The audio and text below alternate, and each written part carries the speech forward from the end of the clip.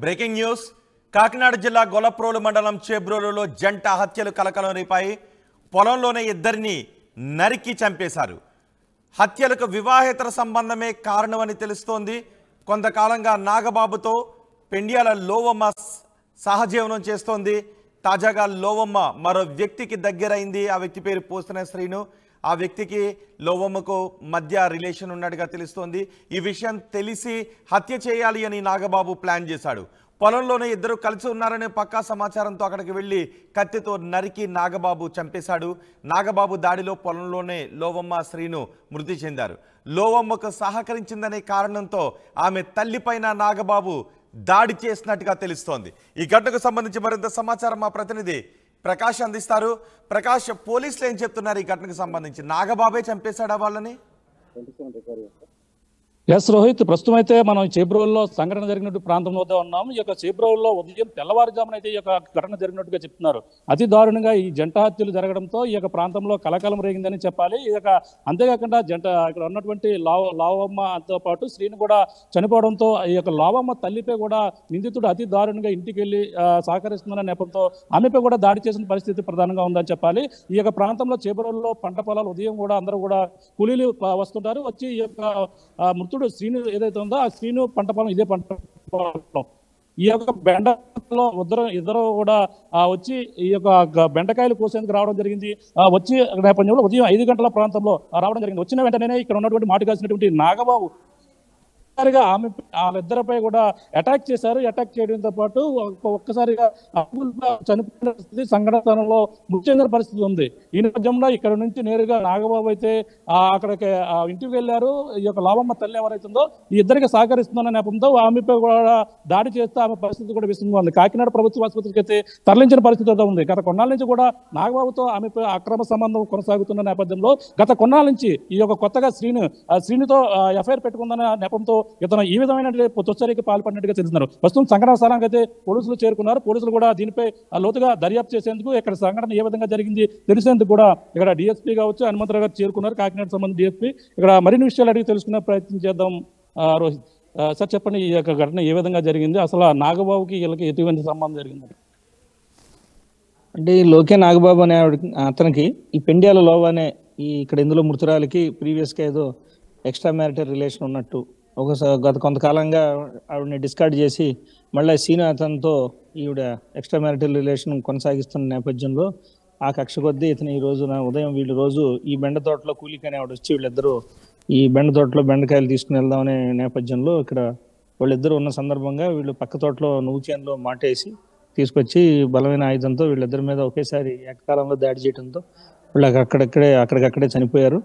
వెంటనే ఇతను అదే కత్తితో పట్టుకుని వెళ్ళిపోయి ఇంటి దగ్గర ఎవరైతే ఈ అమ్మాయి లోవ ఉందో లోవ తల్లి రామలక్ష్మణ్ ఉంది ఆవిడ ఇతని అక్క ఇతన్ని డిస్కార్డ్ చేయటం సీన్తో అక్రమ సంబంధం కొనసాగించడం అనే అనుమానంతో కోపంతో ఆవిడ మీద కూడా అటాక్ చేస్తే ఆవిడ ఆవిడ గవర్నమెంట్ హాస్పిటల్కి కాకినాడ వైద్యం నిమిత్తం పంపడం జరిగింది.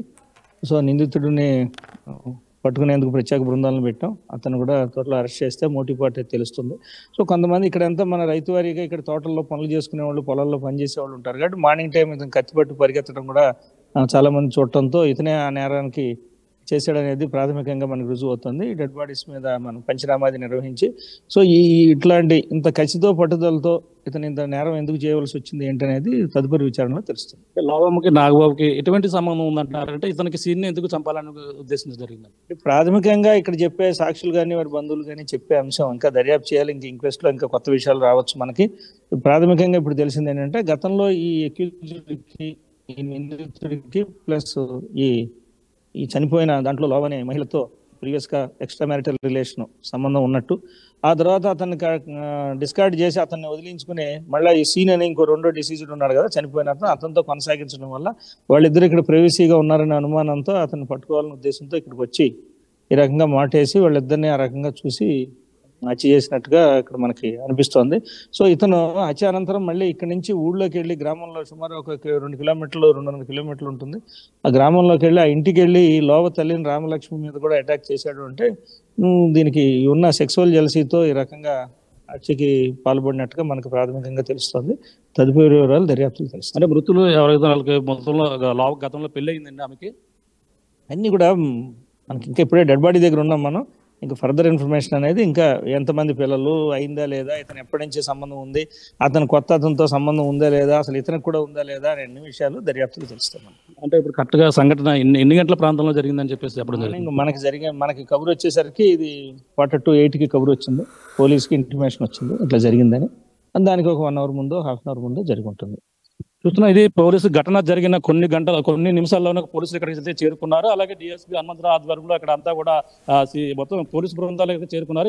ఘటన ఏ విధంగా జరిగింది అనేది కూడా ప్రాథమిక నిర్ధారణకు అయితే రావడం జరిగింది అంటున్నారు. అంటే ఉదయం సమయంలో ఐదు గంటల ప్రాంతంలో పంట పొలాల్లోకి రావడం ఈ యొక్క పంట పనుల్లో ఈ పనుల నిమిత్తం వచ్చిన నేపథ్యంలో ఇక్కడ మాటు కాసి ఎవరైతే నాగబాబు ఉన్నాడో నాగబాబు ఆ ఇద్దరిపై కూడా గత రెక్కి కూడా ఇచ్చేసాడు గత ఆ ఉదయం వచ్చిన వెంటనే పంట పొలాల్లోనే వాళ్ళ పనులు మొదలు పెడుతున్నారు గతం నుంచి కూడా వివాహిత ఇద్దరు కూడా సంబంధం ఉంది ఈ లవంగా గతంలో పెళ్ళి అయినప్పటికీ ఇద్దరు ఒక ఇద్దరు ముగ్గురు పిల్లలు కూడా ఉన్నారు. ముగ్గురు పిల్లలతో పాటు భార- భర్తను వదిలేసి తన ఇంటి వద్ద చేబ్రోలోనే ఉంటుంది. చేబ్రోలో ఉంటున్న నేపథ్యంలోనే ఈ యొక్క నాగబాబుతో గత కొన్నాళ్ళ నుంచి కూడా వివాహత సంబంధం ఉంది. ఈ నేపథ్యంలో గత కొన్నాళ్ళ నుంచి ఇతను వదిలి సీనితో ఉంటుందనే అక్క ఈ యొక్క వివాహత సంబంధంతోనే అనుమానంతోనే ఈ నాగబాబు నన్ను కాదని అతనితో ఉంటామంటూ ఈ యొక్క కక్ష పెట్టుకుని ఈ రోజు అయితే తెల్లవారుజాము మాట కలిసి అతి దారుణంగా చెప్పారు. సహకరిస్తున్నటువంటి తల్లిని కూడా తనపై కూడా అటాక్ చేయడంతో ఆమె పరిస్థితి కూడా విస్తృతంగా ఉండడంతో కాకినాడ ప్రభుత్వ ఆసుపత్రికి తరలించారు దీనిపై ఇంకా మరిన్ని విషయాలు నిందితుడు నాగబాబు అయితే పోలీసులు బృందాలు కూడా ఏర్పాటు చేసి పట్టుకునే పనిలో ఉన్నామంటూ ఆ పోలీసులు చెప్తున్న పరిస్థితి ప్రధానంగా ఉందని చెప్పాలి రోహిత్.